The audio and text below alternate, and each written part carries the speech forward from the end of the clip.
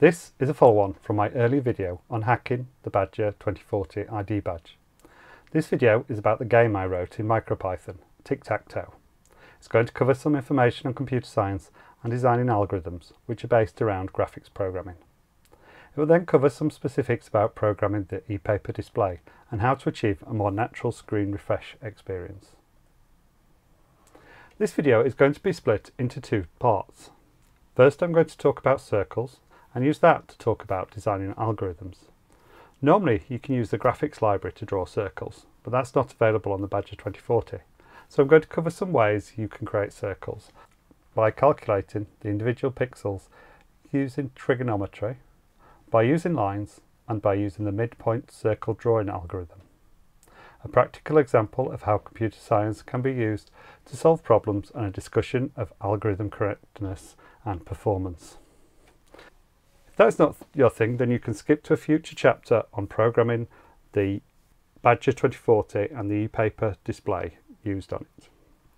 If you want to see a practical example of tri trigonometry as well as some ways that algorithms can be developed to improve performance, then keep watching. Still with me? Great. First bit of a disclaimer. Although covering computer science topics, this is going to be simplified a lot. Hopefully it will give you an idea about why some algorithms are better than others and some different techniques for different situations. What we're going to cover is how changes to algorithms can have a significant impact on performance. I'll show one algorithm which is intuitive but very slow, one which trades quality for speed, and finally a better solution which uses a different approach to get optimal quality and speed. Before we look at the computer and how to put this into code, let's think about what a circle is. This will give us the understanding needed to turn it into code. The definition of a circle is a round plane figure whose boundary, the circumference, consists of points equidistant from a fixed point. When we think of a real world, you can think of it with the help of a pin, some string and a pencil. If you set the string to a fixed length and use that to draw around a central point, then you've got a circle.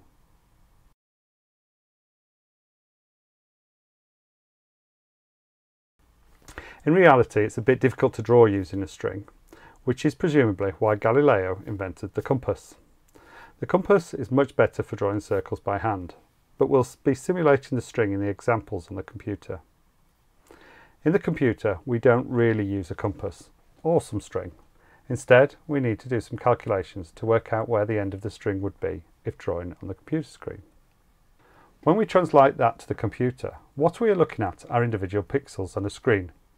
Imagine instead of drawing the pencil around a smooth motion, what we need to do is to colour in each individual pixel, then move the pencil around and colour in the next pixel, and so on until the circle is complete.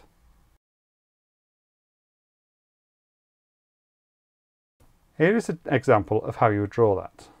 The green line represents the string and each of the blue dots represents a pixel. This is only approximate. The pixels are shown oversized and it's updating in increments of 10 degrees. What we need is a way to efficiently calculate each pixel to draw a smooth circle. The first one I'll look at is if we use the normal trigonometry functions to calculate each x and y position as we sweep around the circle. Effectively, like we are drawing with virtual string, drawing a pixel at each position. So here you can see that if we update each pixel, one for each frame, then it provides a circle. But how do we know where the end of the string is? This is where trigonometry comes in. We can create an imaginary right-angled triangle, as shown here. The green line the hypotenuse, is the string, and we know its length as the radius r.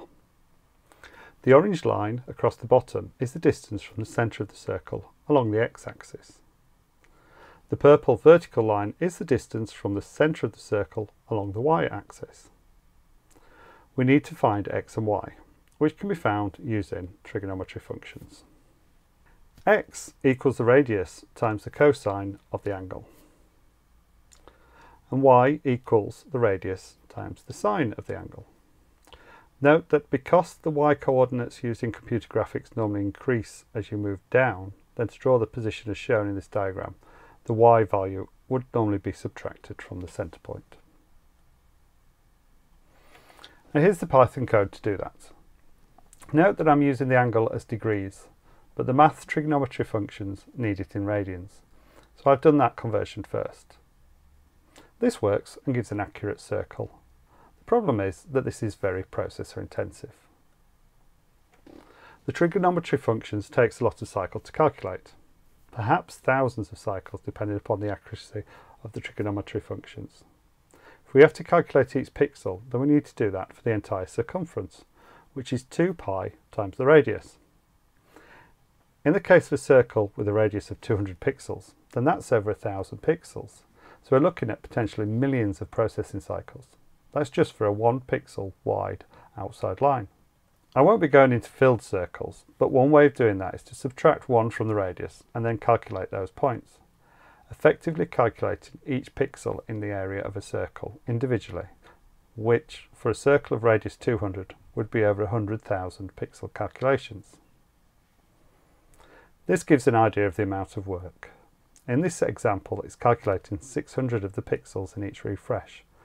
I'm running this on a powerful computer and it is using a lot of processing power just for this one circle. Does that mean that this is a bad algorithm? Well, possibly. It depends upon the specific circumstances where this is being used.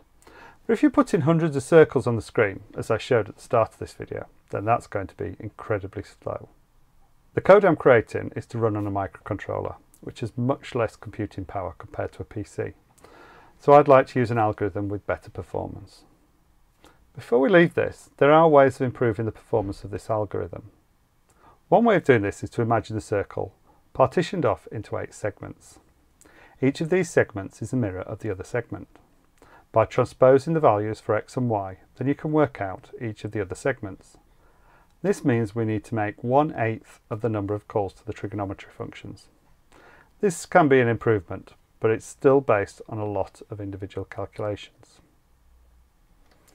This is shown in this demonstration, drawing eight segments at a time. Although I won't be using this algorithm, this is helpful later when we're going to look at another algorithm.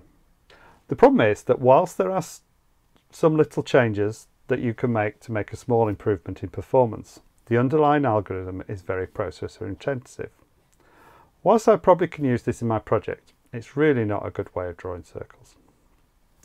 The next algorithm I looked at is something you may call cheating, or perhaps a better term is an approximation algorithm. Whatever you call it, the aim is to have an algorithm that creates an approximation of what is desired, or in this case, something that looks like a circle, even if it's not. This is actually quite a common technique, especially for problems that are NP hard. Effectively, those who would need huge amounts of processing power to perform a certain task, such as the classic travelling salesman problem, which is about choosing an optimum route between cities. The idea of using an approximation algorithm is that rather than trying to calculate every possible solution to find the shortest, which can work for a small number of cities, then instead you have an algorithm which works out a route that is approximately the best solution. We also use approximations in other aspects of computer science. For example, JPEG images you capture with a camera use a technique to reduce the size of the files by using a lossy compression algorithm. The aim is to have a picture that looks the same to a human as the original, but uses much less storage. The approximation I used with a circle is to have something that looks like it's made up of curved lines, but is actually made up of straight lines.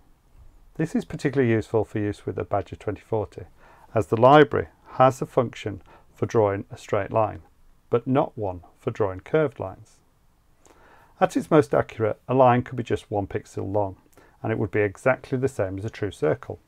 In the case of my 200 pixel circle, that's made up of about a thousand lines or we could reduce it to only 100 lines, a hectogon, or 10 lines, a decagon. This shows an approximation of the circles using lines. As you can see, when you reach about 35 line segments, then it becomes virtually indistinguishable from a circle. That's approximately 10 degrees for each line segment, which is what I use on the Badger 2040. This shows the actual code used to create that. This is in MicroPython, as used on the Badger 2040. The radius defaults to 10 pixels, and the degree step size is used to determine how many degrees to move by when drawing each line. Using 10 degrees gives 36 steps. The first for loop works out the points using the trigonometry functions we mentioned previously. And then the second for loop draws the lines, with a final line to complete back to the start. A performance improvement would be to save these points so they don't need to be recalculated, but this method is fast enough to recalculate when required. We're now going to look at a more efficient algorithm, which should give better performance.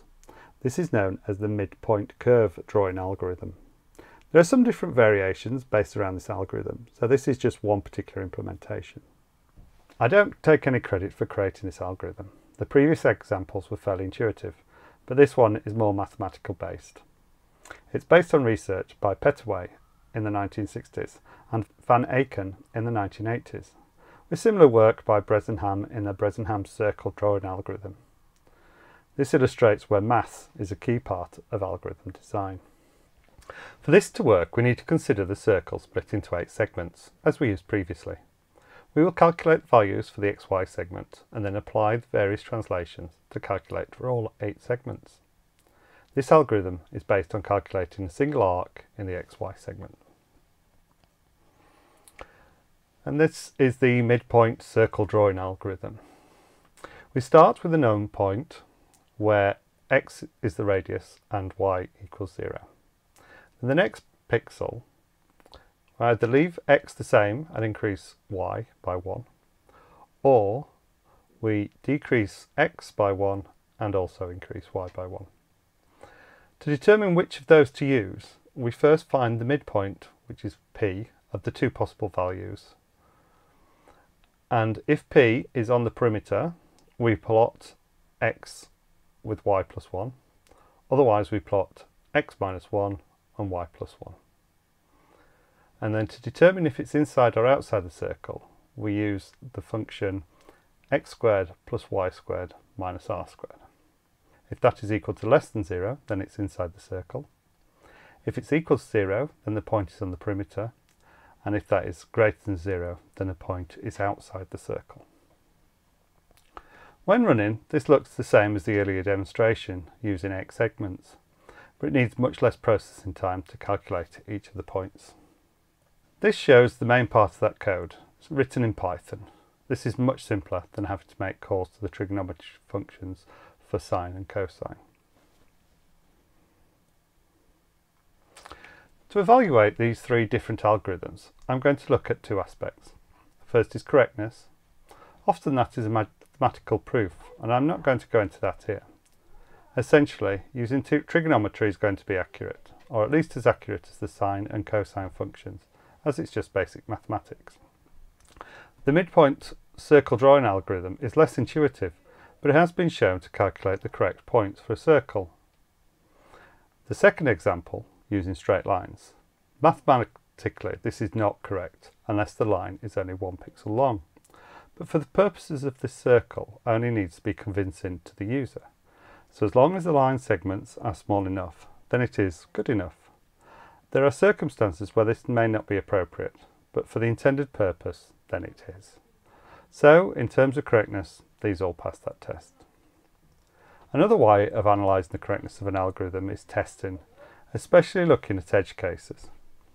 It's not something that was necessary here, as I was just looking at whether the output looked like a circle or not. The other aspect is performance. This is often referred to as an algorithm's computational complexity or time complexity. There are two common ways of working this out. One is mathematical analysis of the algorithm, often looking at how many times a loop or nested loop is called. A common method for this is known as big O notation. The other is by measuring the performance based on how long it takes to run. First is important whether an algorithm is used for processing data and the performance is impacted based on the size of the data that is being processed. I'm not really going to go into detail for either of these here, but I have created a video that shows how you can measure performance in a specific circumstance. In reality, I just looked at the number of calculations being performed to get a feel for the performance. It's not a scientific method, but sufficient for my needs. I decided to use the straight line method as a compromise. It reduces the number of segments needed to draw a circle. The main reason to use that over the midpoint circle is that it's more intuitive and easier to understand for someone looking at the code. The display library also includes a line drawing function, so it's easy to use that. Generally, when drawing circles, you'll just use the one that is supplied as part of the library, as that is already be optimized for the particular platform it's running on. It's only because there isn't a circle function in the library for the Badger 2040 that I even looked at this. Hopefully this has given an insight into how different algorithms can be used to perform the same function.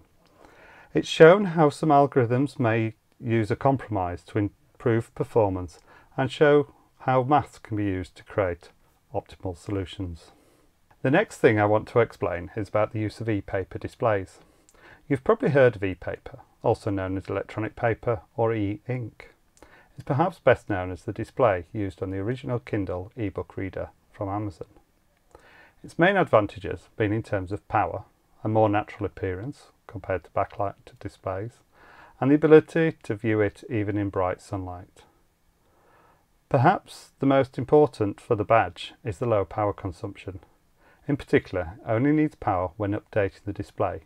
Then it continues to display the last screen, even if power is completely removed. The main disadvantages is that they are normally only two colours. This screen has only black and white, there are some displays with three colours, such as the Inky pHAT, but full colour displays are very rare.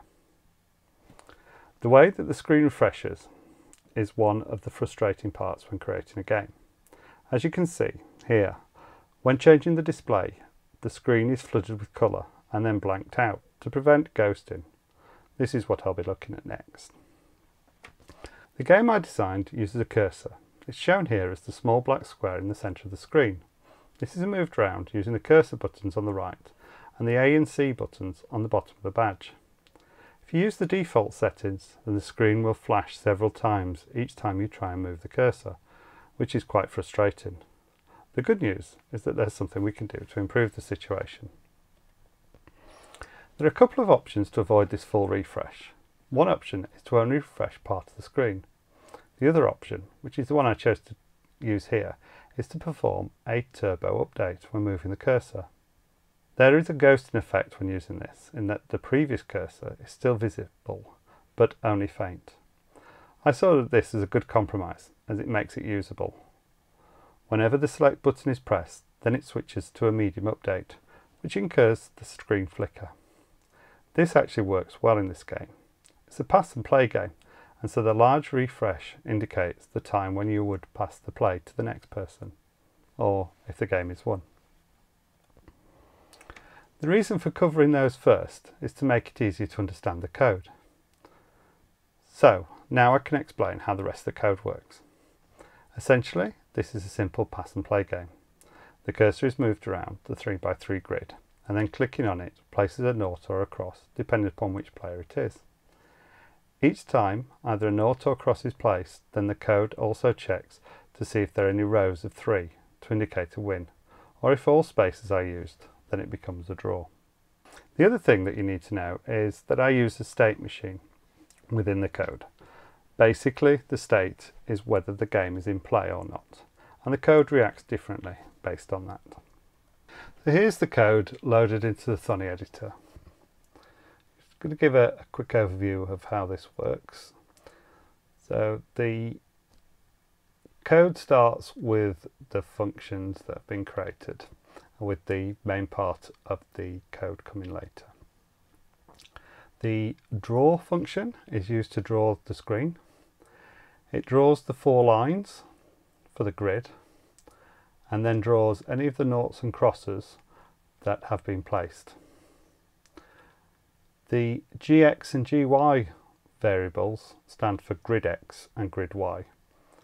and these are used to make it easier to follow.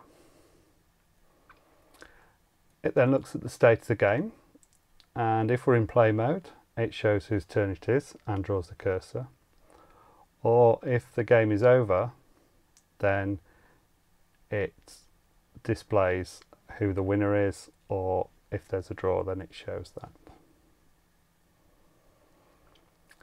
Now see that we've got a draw naught and a draw circle function.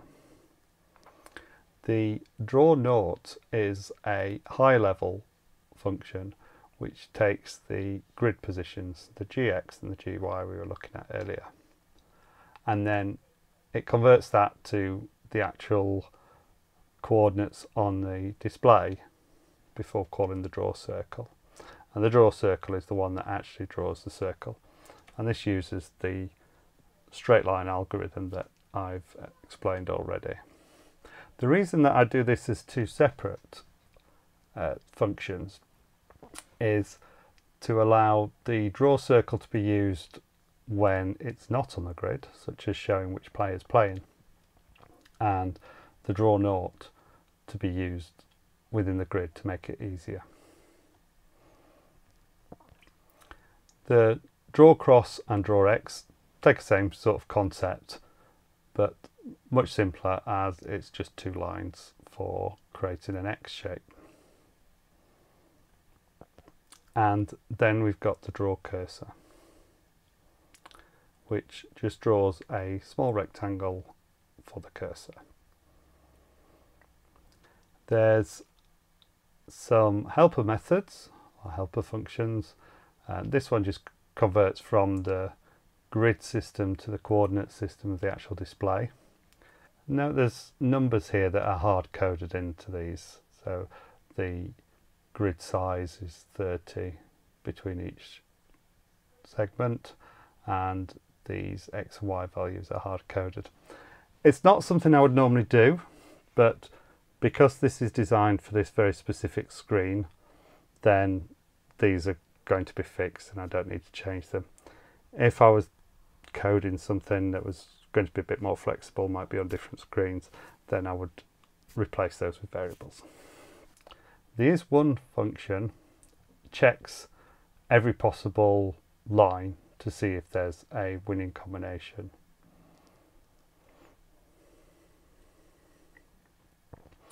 And then this is the main part of the program. So we start with setting the state and setting the initial settings for the grid and the player that's playing, etc.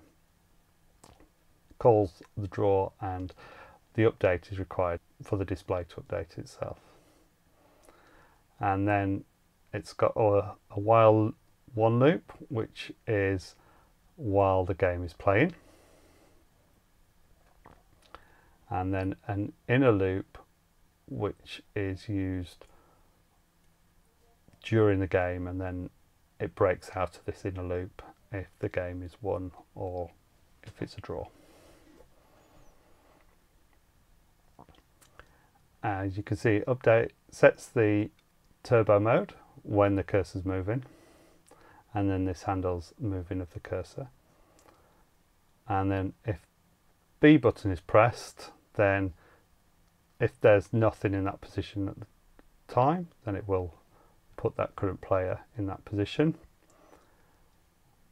and will then break out of that for this is for, is one to be tested and that's where we come out of this inner loop. I've got some suggestions for future improvements. I'm not going to go into these myself, but I'll leave them as an exercise for viewers if you're interested. The first is that you can only play the game once and then you have to click the reset button to start the program running again. So an improvement would be to have some extra code that allows a button press in the game over mode to restart the game and the play will continue. If you do that, then you'll also need to reset the state of the grid. The next suggestion is to randomise which player starts. At the moment it's always a cross. Or another option may be to have it alternated between noughts and crosses, especially if you're having multiple rounds in a game. You may also want to create a computer player, perhaps with different levels of difficulty. One of the things with tic-tac-toe is that following some simple rules, it is always possible to either win or to force a draw. That would make a good hard difficulty, but you may want to include some random element to allow the human player to at least occasionally win. If you make any of these suggestions or create your own improvements, please leave a comment on this video with the details. Be interesting to hear if anyone takes this further. Whilst this video has been about creating tic-tac-toe on the Badger 2040, it's really been a way to give a basic understanding of some computer science concepts, about how different algorithms can impact on performance, and also about how sometimes you can create a program that goes against conventional thinking. Understanding the maths behind this is a step towards creating more complex algorithms. If you found this useful, please give it a like and let me know in the comments if you'd like to see more videos like this. If you've not already subscribed, then please do so and click on the notification bell to get notified of future videos. Thanks for watching and I look forward to seeing you on a future video.